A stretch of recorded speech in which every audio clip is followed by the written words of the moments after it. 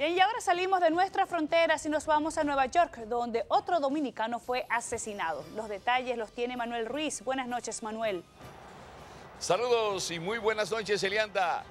Nuevamente un dominicano es asesinado en el condado del Bronx. Se trata de Julio César Lebrón. Todo ocurrió en el día de ayer a eso de las 5.45 de la tarde. Según testigos, señalan que después de una pelea el victimario volvió con dos hombres, entraron a este lugar que ustedes ven cerrado aquí en el día de hoy, un beauty spa. Ahí ocurrió el hecho a eso de las 5.30, repito, a eso de las 5.45 de la tarde. Eh, se ha publicado en algunos medios de comunicación que todo se debió a un ajuste eh, de cuenta. En realidad yo dije, no, él está muerto y cosas porque se veía como muerto.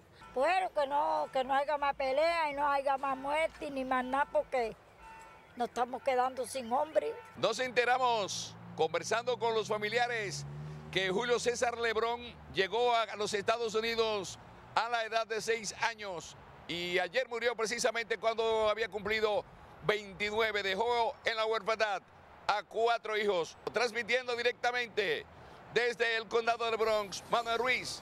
Ahora nuevamente paso contigo, Elianta, al set de noticias.